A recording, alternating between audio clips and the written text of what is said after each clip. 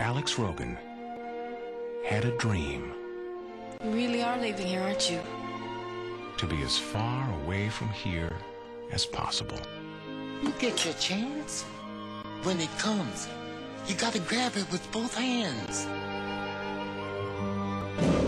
It started with a game, You gonna bust the record. but it wasn't just any game. You have been recruited by the Star League to defend the frontier against Xur and the Kodan Armada. And then one night, Centauri's the name. We have to talk about a matter of utmost importance. Step into my office. I've seen him come and I've seen him go, but you're the best, my boy. Light years ahead of the competition. Alex didn't find his dream.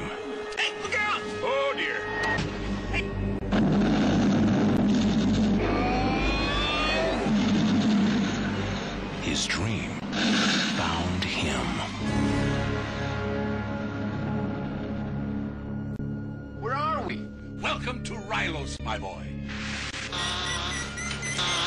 A world on the brink of destruction.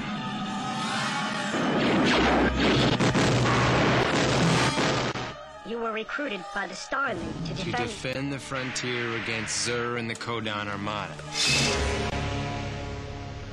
Of all the life forms, on all the planets, in all the galaxies, oh my God!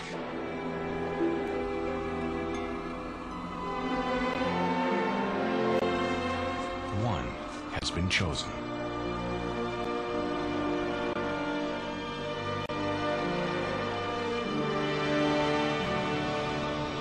Alex Rogan Alex?